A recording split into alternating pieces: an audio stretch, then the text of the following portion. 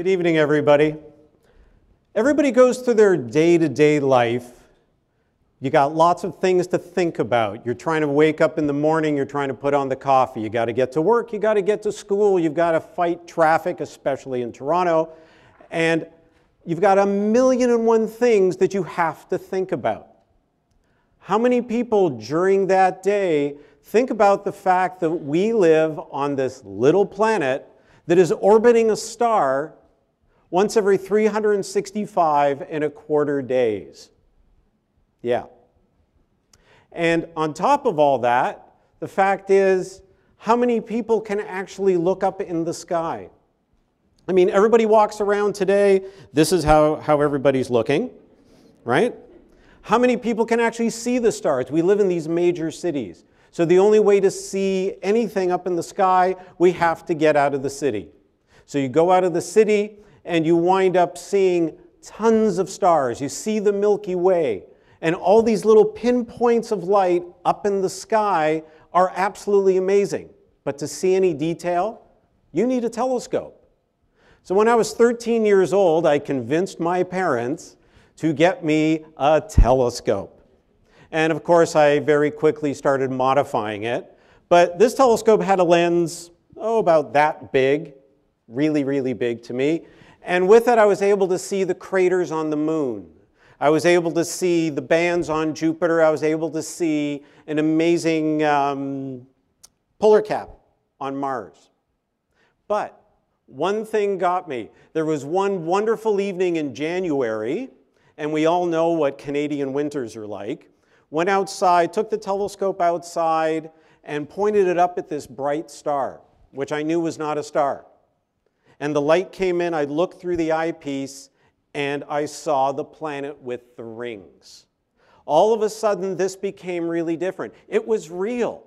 This was not a picture inside a book. This was not something I saw on TV. This was not something that, you know, today you'd see on the web. This was light that had traveled over a billion kilometers, traveling through space into my telescope to come up straight into my eyeballs.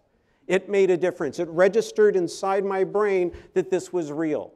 My life changed from that moment on. These are amazing little events that take place. Wow, this was absolutely and amazingly different.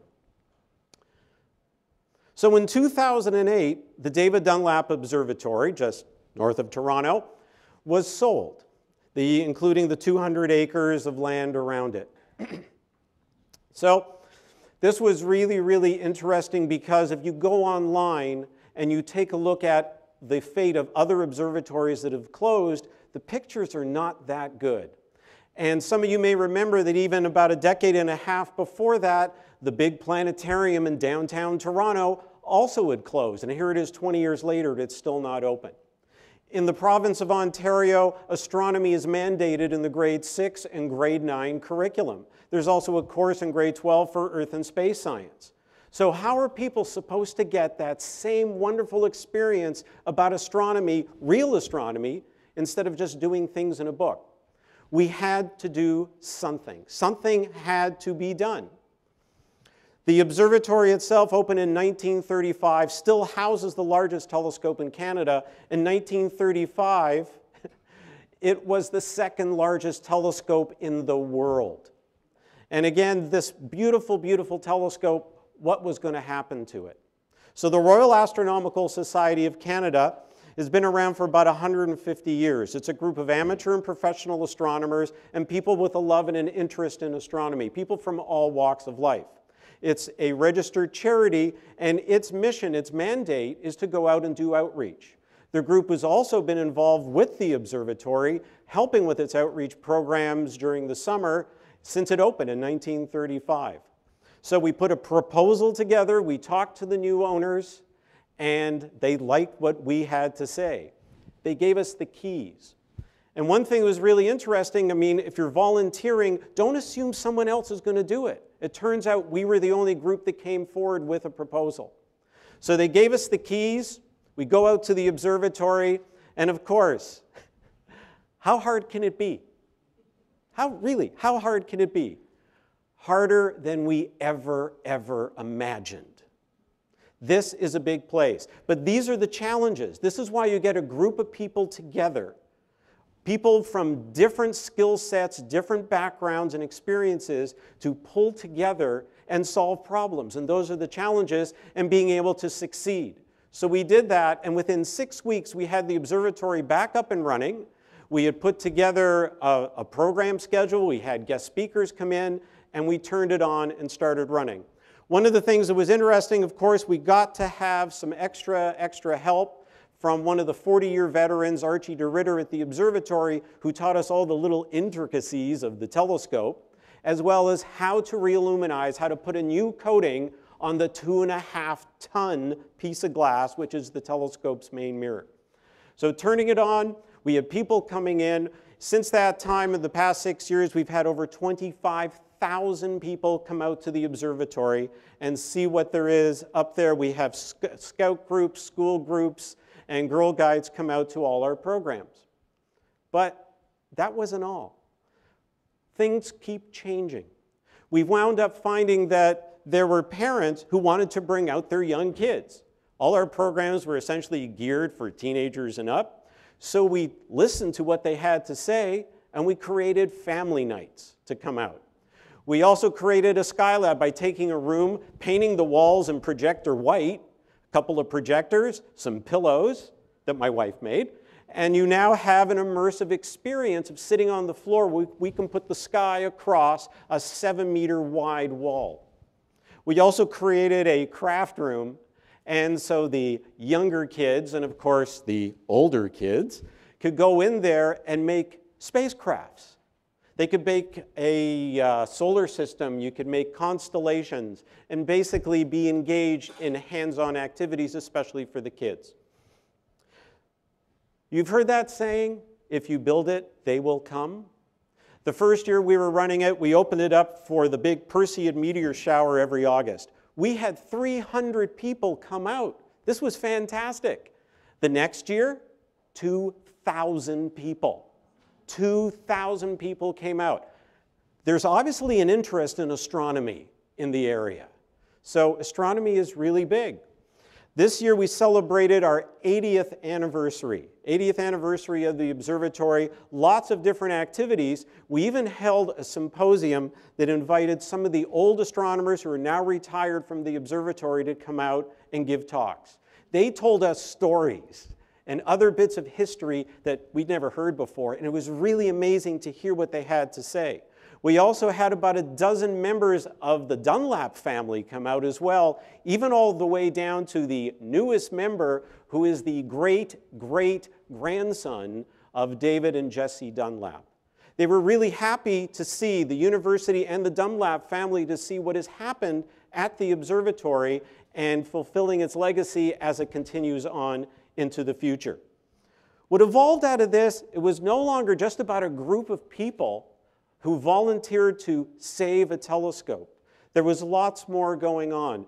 We wound up providing funny, fun, engaging educational programs for the public and for the community. We also did something to inspire the next generation of students to look at possibly engaging in science careers.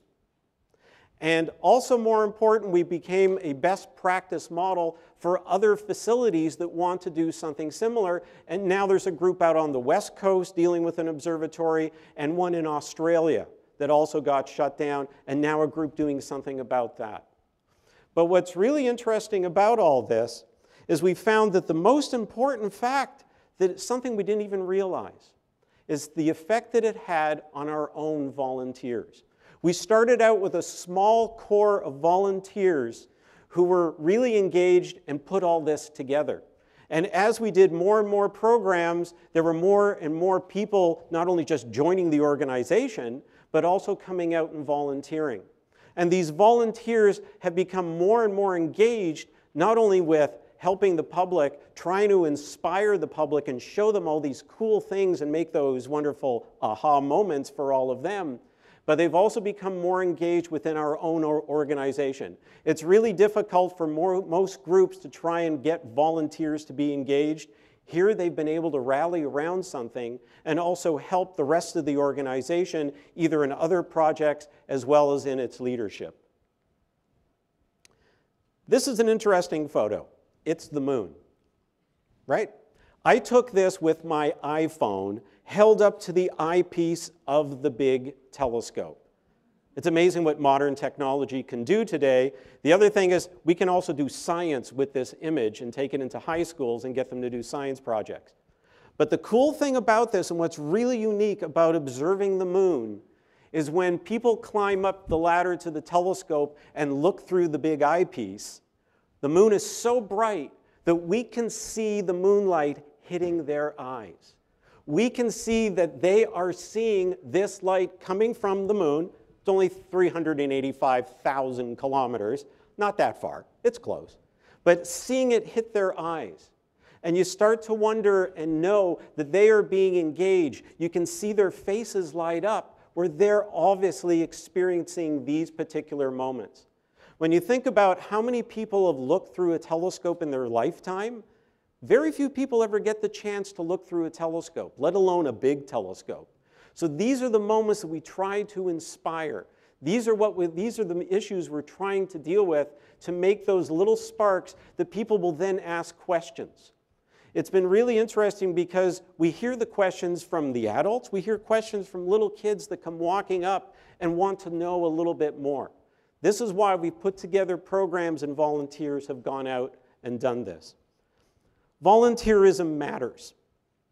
I challenge all of you to think about what you could do with a group of people pulled together to improve something in your community. I also challenge you to take a chance, think big, and go out and make a difference. Because really, how hard can it be? Thank you very much.